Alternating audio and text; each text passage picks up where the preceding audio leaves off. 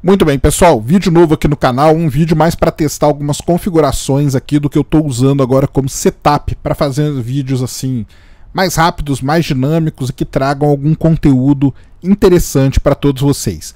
Todos vocês sabem que a sonda MRO possui a câmera High-Rise, que é a High Resolution Image Science Experiment. Essa câmera ela faz imagens de altíssima resolução de Marte e ela ajudou muitas, muitas descobertas em Marte. Eu já fiz um vídeo, tem um vídeo aqui no canal sobre as 10 maiores, as 5 maiores descobertas feitas pela sonda MRO e principalmente pela câmera high-rise dessa, dessa sonda.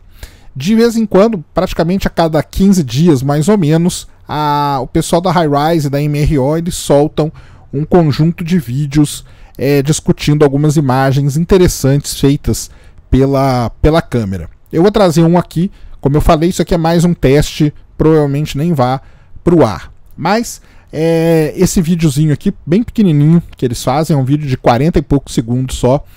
Esse vídeo em questão vai mostrar os leques aluviais da cratera Sarrec. Leques aluviais, para quem não sabe, é uma característica importante de depósitos sedimentares, principalmente levados por água. Então, onde você tem um leque aluvial, normalmente você teve ou tem a presença de água.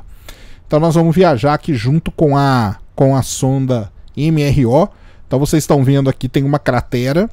Na verdade são duas crateras aqui, né, bem perto uma da outra, dividindo a borda, né? Isso aqui é uma coisa interessante que acontece em Marte, em vários corpos do sistema solar.